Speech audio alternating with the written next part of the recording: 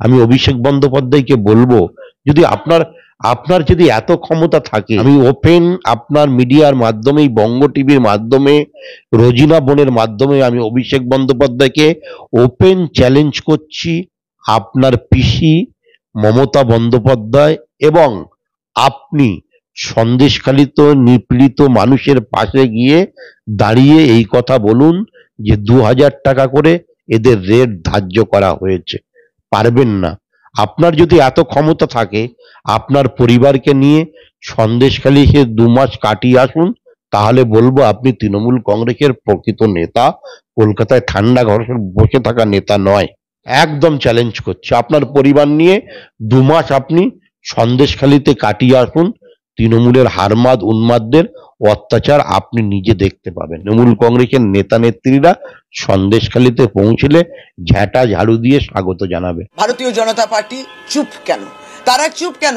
আমরা অপেক্ষায় রইলাম আমরা নয় বাংলার নারীরা সন্দেশখালীর মহিলারা। তারা অপেক্ষা করছেন যে বিজেপি ক্ষমা চাইছে না কেন? জিজ্ঞেস করছেন অপেক্ষায় রইলেন।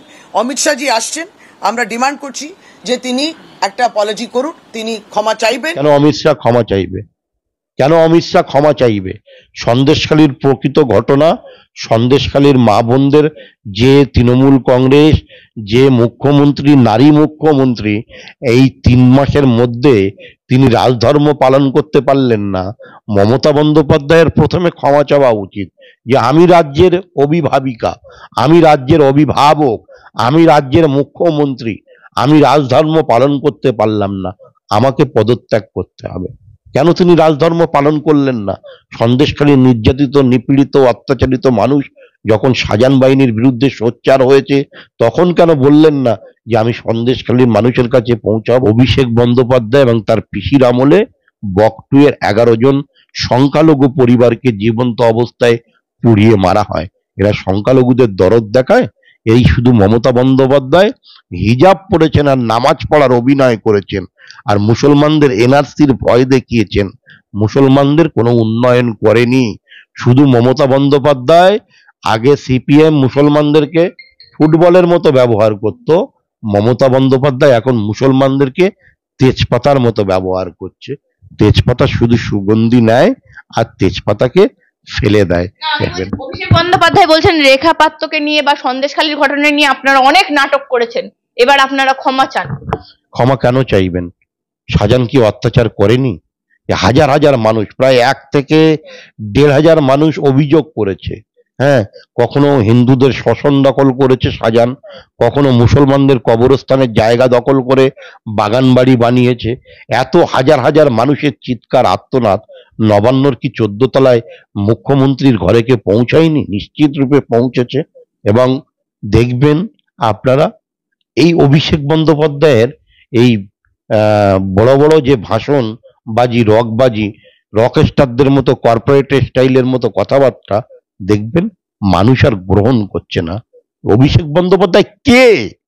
অভিষেক বন্দ্যোপাধ্যায় রাজনৈতিক পরিচয় কি? কোন আন্দোলনের মাধ্যমে অভিষেক বন্দ্যোপাধ্যায় পশ্চিমবাংলায় রাজনীতির পরিচিতি লাভ করেছে? না করেছে নন্দীগ্রামের আন্দোলন না করেছে নিতাইয়ের আন্দোলন না করেছে সিঙ্গুরের আন্দোলন না করেছে হলদিয়ার আন্দোলন। কোন আন্দোলন মমতা বন্দ্যোপাধ্যায়ের?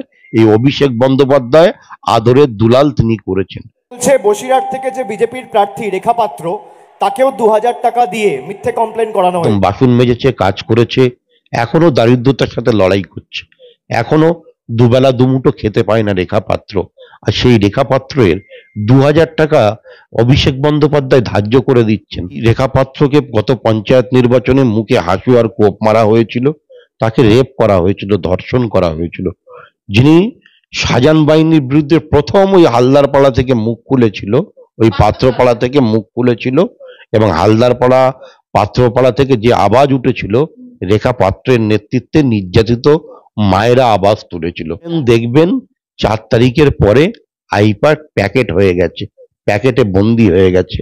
কে মনির জৈন না, কে প্রতীক জৈন না, কে আছেন, আর অভিষেক বাবু টাকা দিয়ে এই সমস্ত ভিডিওগুলো ভাইরাল করার চেষ্টা করছে মোটিভটাকে ঘোরানোর চেষ্টা করছে। এরকম এফআইআর রাজ্য পুলিশ অনেক করেছে শুভেন্দুদার বিরুদ্ধে যত পারুক এফআইআর করুক।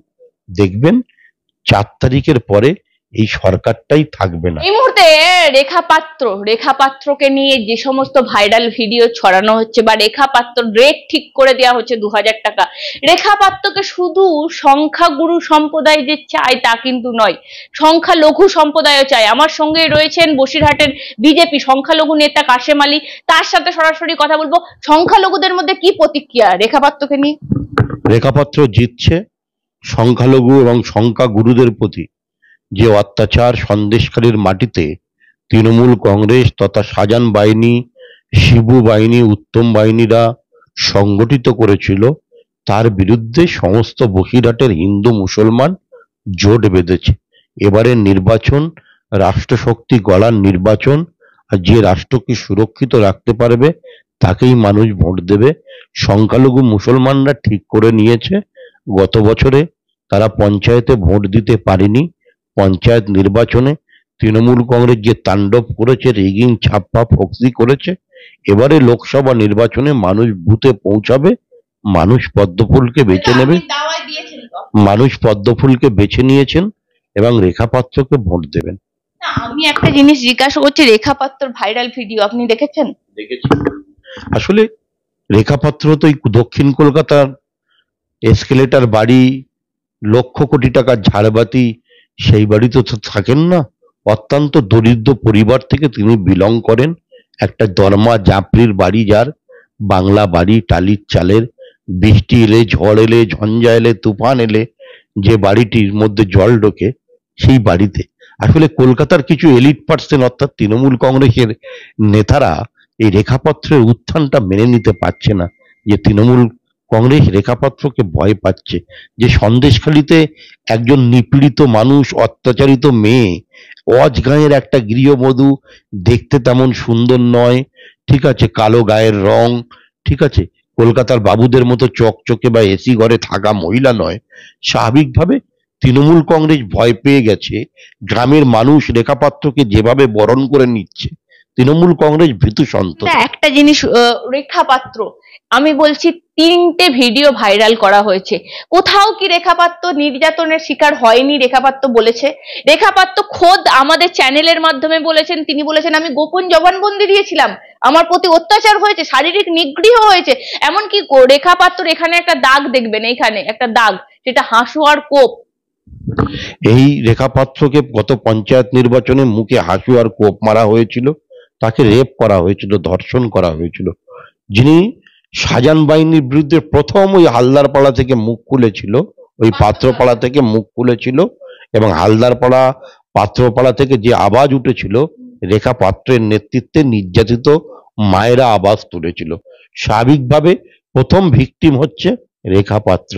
তাই এই অভিষেক বন্দ্যোপাধ্যায় তার কিছু ছানা আইপ্যাক তাদেরকে দিয়ে এই সমস্ত গুজর রিউমার্ক ছড়ানো হচ্ছে।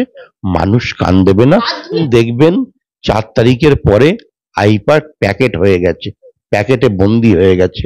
কে মনির জৈন না কে প্রতীক জৈন না কে আছেন আর অভিষেক বাবু টাকা দিয়ে এই সমস্ত ভিডিওগুলো ভাইরাল করার চেষ্টা করছে মোটিভটাকে ঘোরানোর চেষ্টা করছে। এবং আমাদের ওখানে আরেকজন নেত্রী ছিলেন আছেন তিনি মাম্পি দাস আহ, পিয়ালি পিয়ালি মাম্পি দাস হ্যাঁ তাকে নোটিশ দিচ্ছে তাকে হেনস্থ করছে তাকে থানায় ডেকে এ করছে টর্চার করছে পুলিশ নির্যাতন করছে। আসলে তৃণমূল কংগ্রেস ভয় পেয়ে গেছে সন্দেশকালীর আন্দোলনকে মেলাইন করার চেষ্টা করছে। মানুষ সজাগ এবং সচেতন রেখা পাত্রের পক্ষে আছে। গোটা ভারতবর্ষের মানুষ রেখা পাত্রর দিকে তাকিয়ে আছে। আগামী এক তারিখে আগামী এক তারিখে আগামী এক তারিখে দেখতে পাবেন আপনারা সন্দেশখালী তথা বসিরহাটের হিন্দু মুসলমান সকলেই ঐক্যবদ্ধভাবে রেখা পাত্রকে ভোট দেবেন। সন্দেশখালির ব্যাপারটাকে পুরো হাতিয়ার করে শুভেন্দু অধিকারীর বিরুদ্ধে এবার এফআইআর করতে চাই রাজ্য পুলিশ। কি বলবেন? শুভেন্দুদা আন্দোলনের মানুষের পাশে ছিলেন এখনও আছেন ভবিষ্যতেও থাকবেন। এরকম এফআইআর রাজ্য পুলিশ অনেক করেছে শুভেন্দুদার বিরুদ্ধে। যত পারুক এফআইআর করুক দেখবেন চার তারিখের পরে এই সরকারটাই থাকবে না। মানুষ ধুয়ে মুছে, সাফ করে দেবে, তাসের ঘরের মতো ভেঙে পড়বে। সন্দেশখালীর মা বোনেরা যে সূচনা করেছে, সেই সূচনার পাশে আমরা আছি, থাকব এবং শুভেন্দুদার নেতৃত্বে যে আন্দোলনের সূচনা হয়েছে, সেই আন্দোলন আমরা ওই এক তারিখে বিজয়ী ভব করে রেখা পাত্রকে আমরা নির্বাচনে জয়লাভ করিয়ে চার তারিখে ক্ষান্ত হব। আমি বলছি এই যে হাজি নুরুল ইসলাম যিনি দাঁড়িয়েছেন বলছি তার বিরুদ্ধে একটা অভিযোগ ছিল দাঙ্গা লাগানোর এই যে কমিউনাল দাঙ্গা লাগানোর। কই সেই ব্যাপারটা তো নিয়ে অভিষেক বন্দ্যোপাধ্যায়রা কোথাও কথা বলছে না কোথায় কোথাও আলোচনা করছে না। শুধু তাদের মেন বিষয় হয়ে দাঁড়িয়েছে রেখাপাত্র আপনি তো বসিরহাটের মানুষ আপনি ভালো করে জানবেন। দেখুন রেখা আমি আগেও বলছি এখনও বলছি রেখা পাত্র মানুষের অন্তরে গেঁথে গেছে। মানুষ বলছে দেওয়ালে লিখো না নাম, সে নাম মুছে যাবে। পাথরে লিখো না নাম, সে নাম ধুয়ে যাবে। আমরা বসিরহাটের উনিশ লক্ষ মানুষ, আমরা যারা ভোটার, আমরা অত্যাচারিত, নিপীড়িত, লাঞ্ছিত, বঞ্চিত, অবহেলিত। বসিরহাটের ভৌগোলিক মানচিত্রটা অনুন্নয়ন এলাকা। দীর্ঘ তেরো বছরে মমতা বন্দ্যোপাধ্যায় কোনো উন্নয়ন বসিরহাটে করতে পারেনি। পরিশুদ্ধ পানীয় জল নেই। পরিশুদ্ধ পানীয় জল নেই এবং দীর্ঘ চৌত্রিশ বছরে সিপিএম মানুষের জন্য কিছু উন্নয়ন করেনি। নদীমাতৃক এলাকা সন্দেশখালীতে সোর্স অফ ইনকাম তেমন কিছু নেই চাষবাস আর ভেড়ি কেন্দ্রিক মানুষ ওখানে রোজগার উপার্জনের অবস্থা আছে। আর ম্যাক্সিমাম ওখানকার লোকজন পরিযায়ী শ্রমিক তারা বাইরের রাজ্যে কাজ করে। স্বাভাবিকভাবে এবারের নির্বাচনে মানুষ চাইছে যে প্রধানমন্ত্রীর মনোনীত প্রার্থী নরেন্দ্র মোদী দামোদর দাসের মদন- মনোনীত প্রার্থী রেখা পাত্রকে তারা বিজয়ী করবে। হ্যাঁ? আমি বলছি শুধু মমতা বন্দ্যোপাধ্যায় কেন? মমতা বন্দ্যোপাধ্যায় অভিষেক বন্দ্যোপাধ্যায় যে মহিলার নেতৃত্বরা এই মুহূর্তে সন্দেশখালী নিয়ে কথা বলছেন তারা কি কেউ গেছেন? এই শশী পাজা গেছেন না চন্দ্রিমা ভট্টাচার্য গেছেন? কোন মহিলা নেত্রী আজ পর্যন্ত সন্দেশখালীতে পৌঁছেছেন? আপনি ভালো বলতে শুনুন একটা কথা বলি। হ্যাঁ। তৃণমূল কংগ্রেসের নেতা নেত্রীরা ভয় পাচ্ছেন। সন্দেশখালীতে যেতে পাচ্ছেন না।